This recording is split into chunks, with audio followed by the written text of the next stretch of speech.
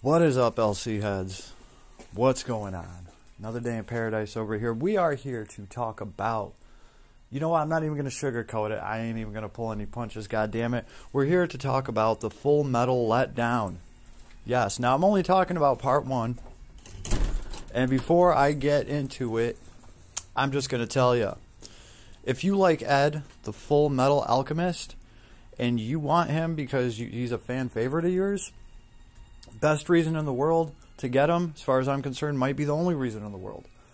Um, because you probably don't need him.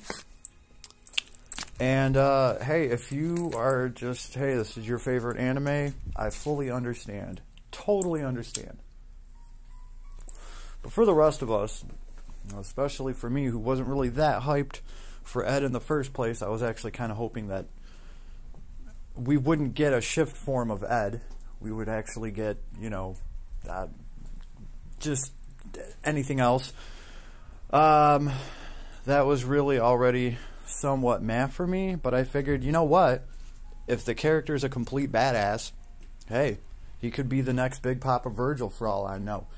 And I didn't know, but I know now. because cause here he is. So, I mean, there's still reasons to pull him if you want to collect him. If you know, if you're just psyched about him, uh, he does have a pretty cool little animation. They did a good job on his uh, metal arm. Um, but I guess let's just start looking at the summary, right? He's got some stun resist. He's weak to headaches. He's got nil to curse and neutral to everything else. He's weak to fire by 20%, strong to earth by 10, strong to uh, thunder by 25. Everything else is neutral, right? He's got 15, 19 strength, so that's a nice starting point. Defense, 13, 29 isn't bad. All right, he's got a pretty decent mind. Uh, not bad. He's pretty tanky, actually. Um, I don't know, though, because comparing him to Vayne, who's going to be more tanky? I'm going to have to go with Big Daddy Vayne here and his sandcastles. Um, just off the top of my head, so uh, we get into abilities to slow, medium area, earth combo attack. They're all going to be earth. Uh, you won't get away. Wide area, long range earth combo attack around the target. Uh, and then Al. Front, medium area, mid range earth combo attack. His attacks do have decent ranges on them. Like they're not the worst. Uh, and then there's the special. Get up, third string and this is kind of where I get, start getting a little bit disappointed right off rip. Uh, you know the the special is combo attack to a single target, followed by a powerful earth combo attack to all enemies. So you're going to do some single target, and then it's going to be some AOE. uh, maybe if the special had something attached to it, some kind of stat break, some kind of, oh, I don't know, earth elemental break something like that, something that actually gave you a reason to really throw this thing. Because I can tell you right now, one of his traits, the majority of the trait, is giving him the ability to sacrifice 200 MP and throw his special. So, yeah, if the special actually had some sort of status or something along the line of that, maybe he would be more worth it because well, you'd have that much more reason to actually throw his special at the very beginning of the fight and wipe out most of his MP. Because here's the thing, I didn't see Goddess Kiss in this guy's kit, so you're going to have to give him that because he's going to want to get his MP back uh, just to use alchemy abilities. He doesn't need skill charge as long as he has MP, but he has no way of getting MP. You're going to have to pay for that. That's a very expensive ability right? And when you throw in things like sharp eyes, all of a sudden sacrificing MP to throw some of his skill kit becomes super, super expensive because you're not only paying to use the ability, you are also paying for sharp eyes, right? So just the MP cost gets pretty high and you're going to need to get MP back on him, right?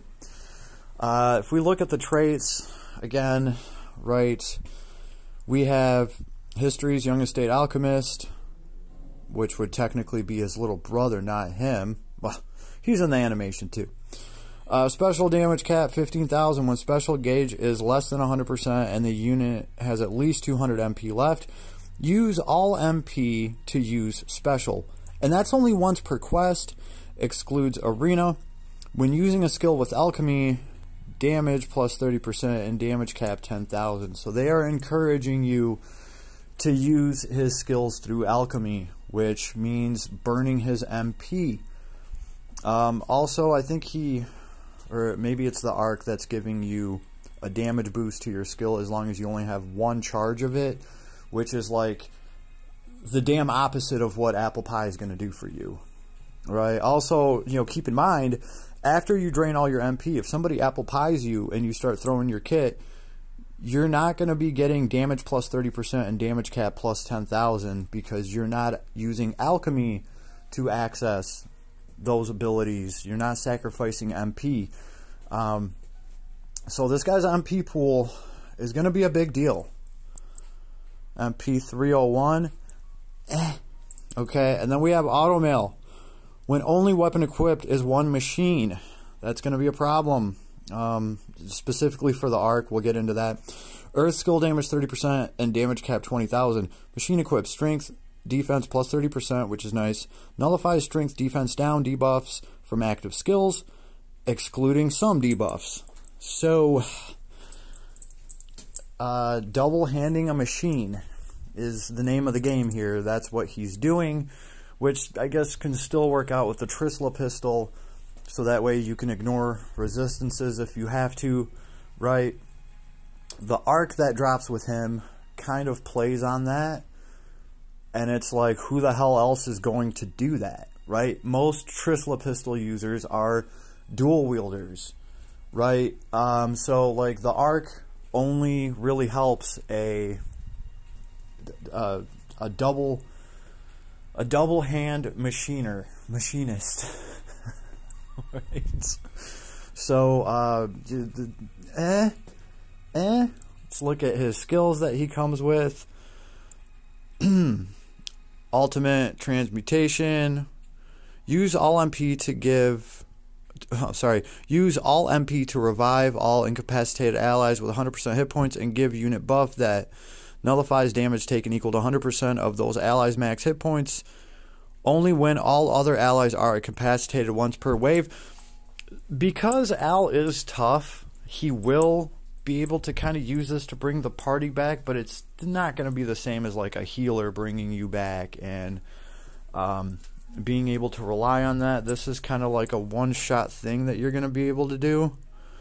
Um, and I mean, I, I see kind of see what they did here because Al's kind of tanky. He's going to have a pretty decent uh, chance of being the last character standing so then he can use this and bring everybody back. It's just still kind of strange. MP up max, of course he's going to have that. He's going to need it. Fighting Spirit, Heroism up 3, Crit up 2, Advanced Aim Vitals, Proud Force, Royal Armor. Soldier Mastery is nice. Auto Brave, Life Brave, Auto Crit, Earth Drive, Earth Mega Drive, Earth Attack Rise 3. So, uh, Pose of Honor, Blessed Speed, Favorite Sword, that's right, because it's only one weapon, not a sword. Favorite sword should just be called favorite machine for him. Here's two-handed machine. Two-handed machine too, which is nice. This is very nice, right? Uh, that's definitely new. Machine high boost, machine mega boost, some armor hit point plus, ultimate boost 3, giant killing 2, and then we get into the custom stuff. Alchemy, when a skill stock is zero, consume MP to use the skill. Consumed MP differs based on the skill's SCT. State Alchemist, MP consumed by alchemy minus 20%, so that's nice because you're going to be starving for MP anyway. You're outclassed, damage plus 20%, damage cap 2k to boss monsters. Uh, Winry's maintenance, when hit points here hits zero, auto revive and recover hit points 100% and MP 20% once per wave. So this is going to help ensure that you're probably going to be the last one surviving and you can use his little uh, ultimate transmutation to bring the party back and have a chance, right? Uh, the Portal of Truth, Continuous Haste, and Advanced Magic Circles effect. He really needs that Advanced Magic Circles, and it's nice to have Haste in here for free. Uh, Al's Protection, Battle Start, give all allies high protection. That's cool. High protection for everyone is cool. And Hide Inside, when taking lethal damage, survive with one hit point until that attack ends. So, between Hide Inside and Al's Protection, and he's going to be pretty tanky, and he's probably going to be around to throw the ultimate transmutation. It's, it's cool. It's, it's cool. It gives you a different uh, take on bringing your party back without necessarily having to have a healer there. Um, yeah, I just, I'm not a huge fan of so much of his trait potential being wasted on wasting 200 MP to throw his special. Um, they just could have done more, I feel like. We looked at the skills, right? Uh, and just to kind of add insult to injury to part one, because it's like, hey, maybe I might not want the character. Okay. Uh, but hey, there's still an arc in the mix, right? There's got to be some good stuff in that arc. It's got to be, right? Well, well, well, maybe. maybe if you're Al. Okay. Here's arc. Arc trait. Boost skill power based on how low skill stock is, which is just not going to help you with apple pie, right? It's only going to help you on your last skill stock. Um, as skill stock one or less. But for somebody sacrificing MP for alchemy to uh, to throw their skill kit, that's gonna do great for them because they're gonna get plus 30% damage for every single alchemy skill used because technically your skill power base is lower than one while you're using alchemy, right? One or less, yep. Machine equip, damage taken minus 15%. That's nice. When an ally other than the unit takes lethal damage, very greatly restore that ally's hit points and give them a defense mind plus 35% buff once per wave. So, uh, yeah, it's adding some utility to your mage that's going to die first or your wimpiest character. It's giving him a little bit of damage reduction, and it's going to give him that plus 30% to damage, specifically when he's using uh, those alchemy abilities and paying a ton of magic points in order to uh, use his skill kit. So, okay, well, this arc is made specifically for the character that, well, I'm not that excited about. But hey, there might be an awesome arc ether reward here. What do we have here? The family portrait. Six star, okay, that's a good start, you know. Hit points 400, MP 30, mind 68, continuous metis effect. No attributes, no ailments. Yeah, AIDIS, you might want to bust the eraser out and take a star off of this one. Eh. So, okay, no no sweet arc ether reward that I would really be that interested in. But that's okay, because obviously this thing's just going to have some bomb ass skills in here to be able to teach my other units to take advantage of. Clearly, that's what all this is. That's the road that this is all leading down, obviously. We're just going to have some of the best abilities in the world in here just to make up for some of this half ass nonsense. So, uh, we got some magic defense up. Okay. Wind circles. All right. Soul bind. Okay. Here's a new one. Soul bind. Allows equipping of armor. Oh. Armor equipped, physical damage taken minus 10%. It's actually not bad.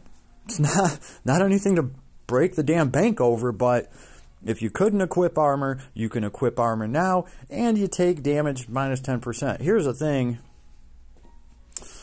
it, it is nice for 5SC to take physical damage taken minus 10%. You could argue that for some heroes. Now, this is really worth it if you can't equip armor.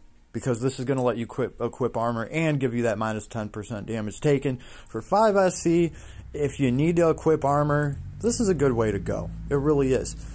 What's next, though? A new Lamet? Okay. right? Nothing, nothing great there. Two-handed machine boost. Oh boy. When only weapon equipped is one machine. Physical attack and special damage 10%, damage cap 3k.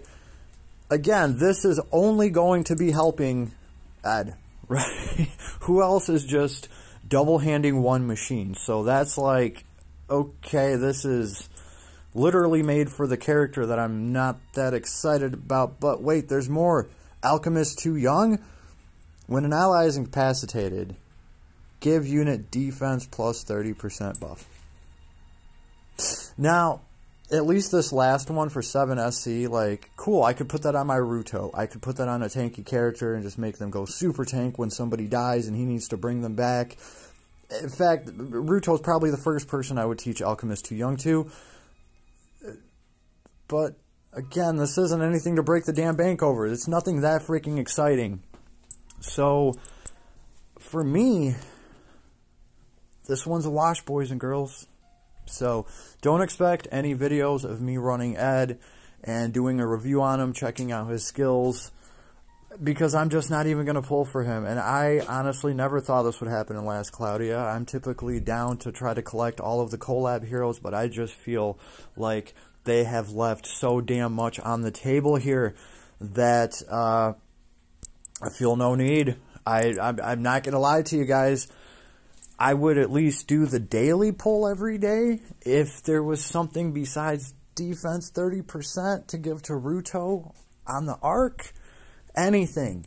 Um, you know, and a six star that should be a five star Trustmaster reward. Uh, yeah, yeah, so hopefully, hopefully, Full Metal Alchemist is just, you know, waiting for part two to drop to actually rock the Casbah. That's, I mean, maybe part two is just going to be so wicked freaking strong. Maybe it's going to be Big Papa Virgil 2.0. But, uh, part one definitely is not. so so that's what I'm going to be doing. I'm going to be holding out for part two. I think you should too, most likely, unless you really like this hero. Um, and I've watched some other videos that some people have done showcasing this hero already. They've been working on him. And when I voiced my concern, well, they all seem to agree with me. So I don't think I'm the only one feeling like this about part one, the full metal letdown, right? Only part one. Only part one. Like we, you know, uh, we don't know anything about part two. Part two might not be a letdown. I'm actually really hoping that it's not. Right. Uh, I would have really liked to be able to get some of the homunculi as as characters, and that's really what I was hoping for. But the part two hero is going to be the the king of Bloody Blue, whatever his title is, and let's hope he's more exciting. All right. Um, I do believe somebody said he was ice and dark damage. I don't know. Sounds cool. Definitely sounds more interesting than what I'm looking at here. So that's what your boy's doing. A whole lot of nothing. Waiting for part two. Now, correct me if I'm wrong, if I completely missed something here, but I think I've painted quite the little picture. So, uh, yeah, if you agree, if you disagree, if I'm totally wrong, leave me a comment, let me know share with the class. We'd all like to know. Uh, but yeah, I don't think I pulled any punches, and of course, this is all just IMO. And I did say that if, if you like this hero, that's the best reason in the world to pull this hero. Who gives a shit what I think? At the end of the day, it's about what makes you happy, right? So I'm just putting my two cents in, and hell, who knows? My two cents might only be worth a penny sometimes. Anyway, if you appreciate any of the hard work that I put into all this stuff, well, you can like the vid. Hell, you can even throw me a sub. And I will see you on the flip side.